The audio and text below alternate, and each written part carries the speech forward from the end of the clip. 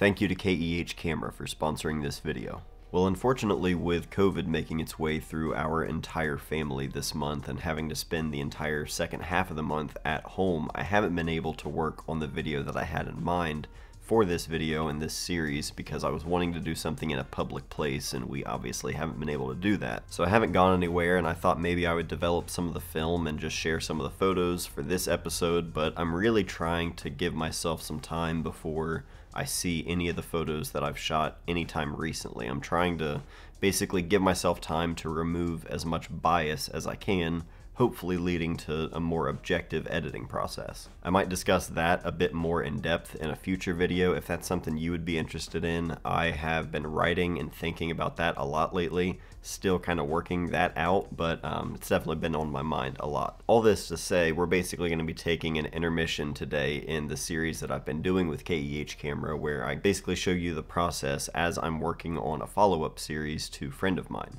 Over the last few months, I've been settling into this new kind of chapter with my photography where I'm not shooting weddings or portraits or corporate stuff. My whole focus for the first time is now just this YouTube channel and making my own personal work stuff that I can release in prints and books and zines, that sort of thing. So as a result of that, my needs and my camera gear has changed a lot, and I've completely switched up all of my gear and I've cleaned house basically. Actually, I do still have a couple others. Technically, they're not just in rotation or in use. I have my Minolta XGM, which was my first camera. That's now Elliot's camera. I have a Polaroid 600 one-step close-up. That was my first Polaroid camera that I bought in high school. And I also have a Polaroid 600S that I bought specifically to shoot the last of my FP3000B that I'm saving for a special occasion. It will be in a video, don't worry. But everything in this case, this is what I use day in and day out, whether I'm at home or on the side of the road. Everything here goes with me. I'm to go through everything and kind of give you a quick mini review, essentially telling you why I use it and when I might grab it over one of the other cameras in the case. The Leica M6 my everyday camera for eight and a half years now. This thing has seen everything. It's reliable, it's fast. It's just a camera I know inside and out and I don't have to think about it. That is my favorite thing about this camera is that I never really have to think about it when I'm using it. And you can do that with a lot of different cameras. It doesn't have to be this camera, but this is the camera that I just know and love. I use for everyday documentation this is the one for me. It's always loaded with Ilford HP5 and I have two lenses for it, the 35 Summicron spherical and 50 Summilux spherical. Essentially like the perfect lenses for each focal length in my opinion. The 35 Summicron spherical, compact, super sharp, uh, it's just everything I would want in a 35 and then the 50 Summilux is pretty much everything I would want in a 50 as well. I finally bought it and I'm wishing I did a lot sooner because it's just great last 50 I'll ever buy for my M6. And anytime I need to use flash, I have the SF20 from Leica for my M6 TTL. With this flash and the M6 TTL, I have full TTL metering, so I like to just treat this like a point and shoot. I'll set my aperture anywhere between like 5.6 and f11, set my flash to TTL, zone focus, and there you go. I should also mention I get a lot of questions about the straps on my cameras and my videos.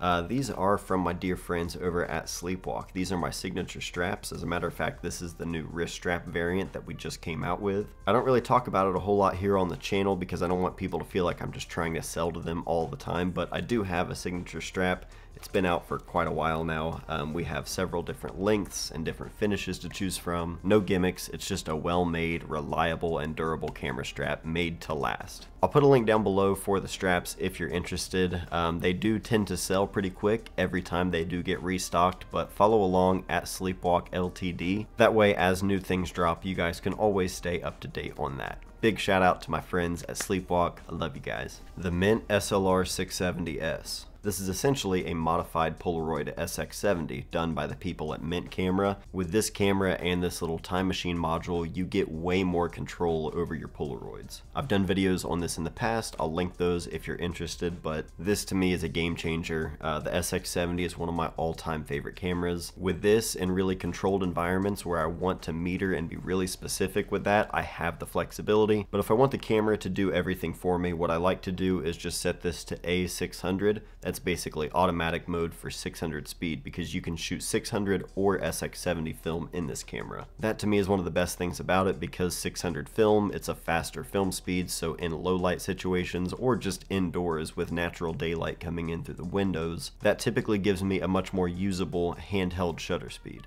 The way I keep the bag organized, I usually have three to four packs of film in there at any given time, and that's usually plenty of Polaroid film. I don't burn through Polaroid film nearly as much as I do through roll film just due to the cost. The Pentax 67II my one and only medium format camera. It's a camera I have used many times over the years. I've made videos about it way long ago. I've used it for personal work, I've used it for weddings, for portraits, taken it on vacation with me. For as big and heavy and clunky as these cameras are, I have used it for so much in my life over the years. Lately I've been using it for the Chillicothe project that KEH has been sponsoring that we've been talking about in this series that we're kind of taking a break from today. I've been using it for another project that I shared recently in the photographic therapy video. I've owned and loved a lot of different medium format cameras over the years, but love the viewfinder of the 67II, love the ergonomics of it, also the metering, the fact that I haven't carried a handheld meter in months just because the internal meter in this thing is so good. That to me is like that's the that's a selling point in itself. You have plenty of different metering options. They're all very reliable and accurate. I love that I can just take this thing with a bag full of film and that's it. Now speaking of these Pentax lenses, I have two. I have the 105 f2.4 and the 75 f4.5. The 105, it's an iconic lens. When you're talking about that large format look, I would say that the, the 105 and the Pentax 6.7, in certain distances and certain conditions, it can give you like 95% of that 4x5 look.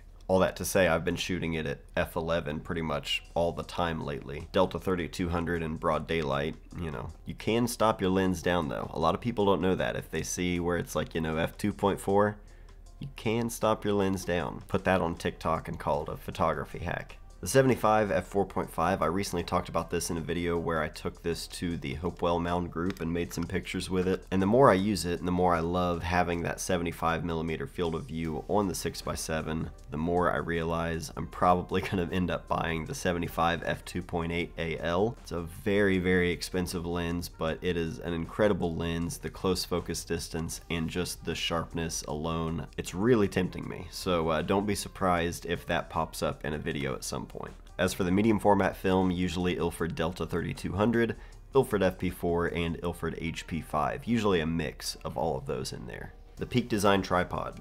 This thing, I can't stand how much I love this tripod. I've talked about it a bunch, I think.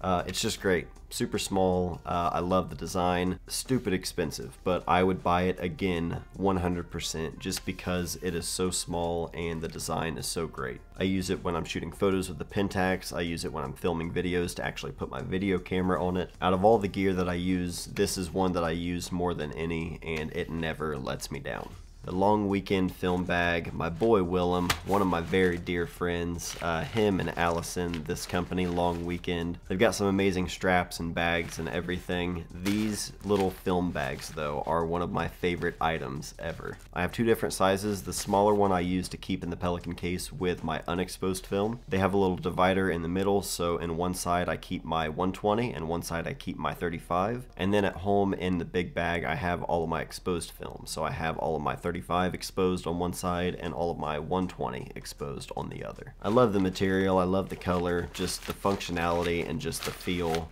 Just what a great object.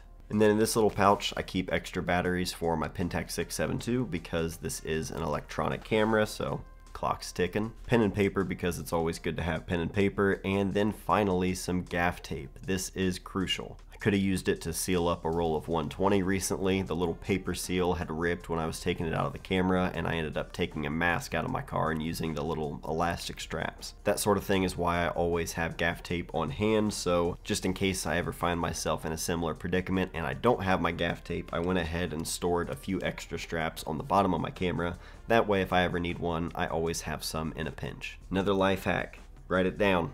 And that's it. That's everything that I have in my case. It's really everything that I'm using now on a daily basis. For personal photos of my family, for working on series that I share here on this YouTube channel and in prints and book form, these are the tools that I use to do all that. So if you have any questions about any of this stuff, please leave them in the comments down below. I'll try to answer as much as I can about these. Just know that my gear changes all the time as my needs change, as my interests change. Um, you know, some of these cameras I've used a lot over the years. I've used some version of an SX70 for a long time. This camera I've carried with me almost a decade, and this one I've been using in a lot of different scenarios at different times for the last, I guess, seven years. And these cameras are all great and I love them, but I've used a lot of different cameras over the years and I could make any of those photos with pretty much any of the cameras that I've owned. I'm happy to answer anything I can that would be helpful in the comments, but just keep that in mind. It's always about what you put into it, not what the gear does. That being said, if you do need a place to buy gear, I know the perfect place to do it, and that is KEH Camera. I say it every month, but I truly love working with KEH as a sponsor for this channel. This series, this project, following up friend of mine, this is possible with the support of KEH Camera.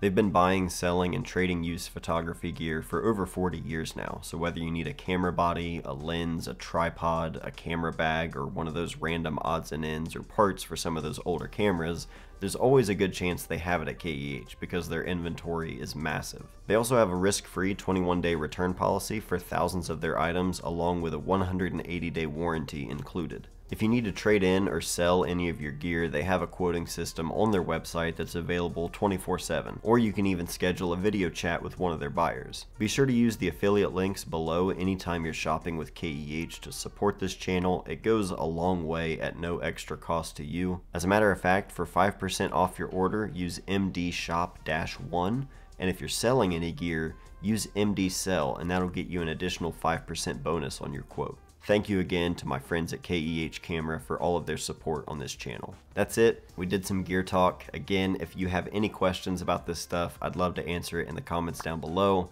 But that's it for today. Hopefully next month I won't have COVID, my family won't have COVID, and uh, we can get out of the house and get back to making some pictures. So thank you guys for all the support, sticking with me this month. I love you guys very much. I'll see you soon.